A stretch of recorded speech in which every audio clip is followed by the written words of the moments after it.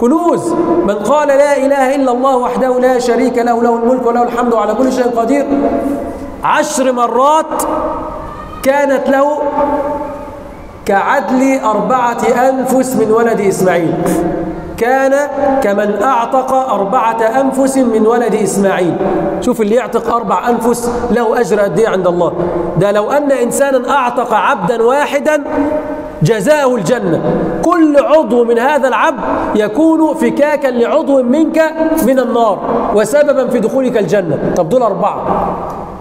طب لو أنت همتك عالية وقلت ال- ال- الذكر ده مئة مرة من قال لا إله إلا الله وحده لا شريك له له الملك وله الحمد على كل شيء قدير مئة مرة كانت كعدل عشر رقاب ده كأنه تصدق بما يساوي كام؟ عشر رقاب.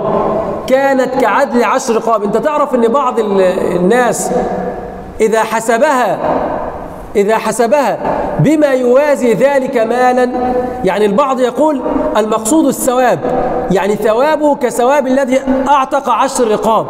والبعض يقول بل بما يساوي العشر رقاب. فلو قال لك الرقبة الواحدة مثلا الرقبة الواحدة بعشر آلاف جنيه يبقى كأنك بتتصدق بمئة ألف جنيه. يبقى كأنك كل يوم بتتصدق بمئة ألف جنيه أو ما يساوي مئة ألف جنيه اللي هم العشر رقاب. شوف إحنا بنضيع قد إيه. شوف إحنا بنضيع قد إيه. كأنك بتخيل لو واحد كل يوم بيتصدق بمئة ألف جنيه. كيف يكون أجره عند الله تبارك وتعالى؟ وإحنا بنضيع. ده مش كده وبس. كانت كعدل عشر رقاب.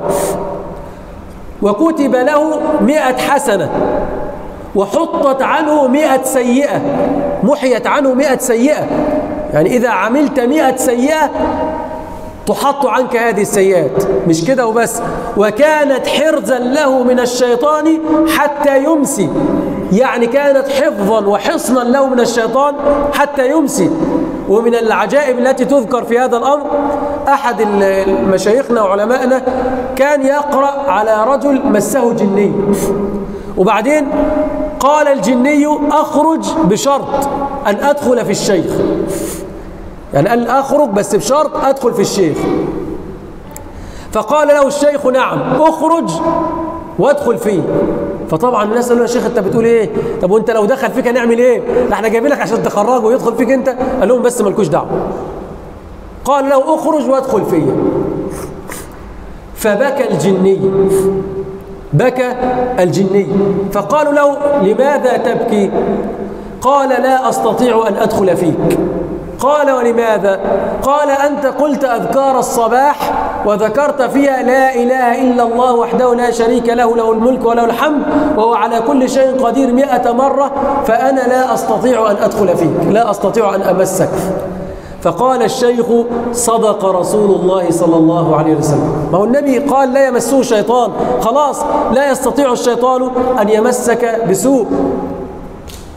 قال صلى الله عليه وسلم ولم يأتي أحد بأفضل مما جاء به إلا إلا أحد جاء بأكثر مما جئت به.